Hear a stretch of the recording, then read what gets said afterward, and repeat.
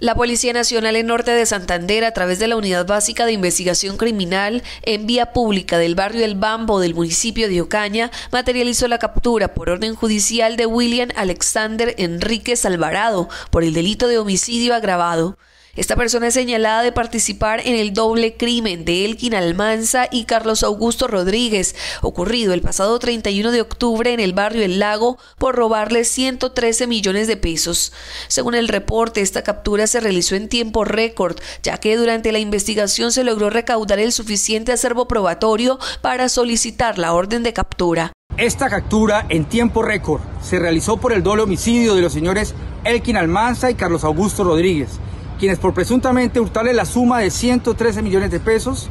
hechos ocurridos el pasado 31 de octubre del 2023 en el barrio del lago del municipio de Ocaña, donde nuestros investigadores lograron recaudar los suficientes elementos materiales probatorios, analizando más de 200 cámaras de seguridad con las rutas de escape de los indiciados para dar con los presuntos responsables y lograr así hoy el esclarecimiento de estos homicidios en el municipio de Ocaña.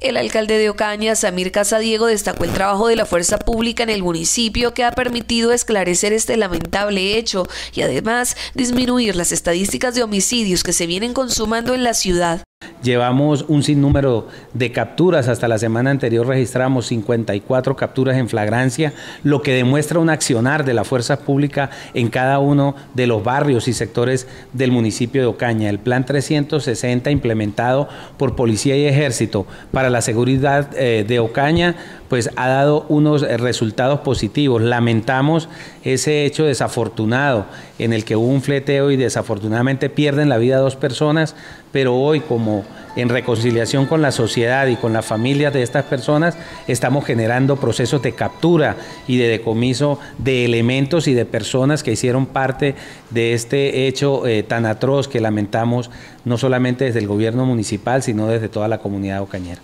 El capturado fue dejado a disposición de la Fiscalía General de la Nación a la espera de audiencia donde se defina su situación judicial.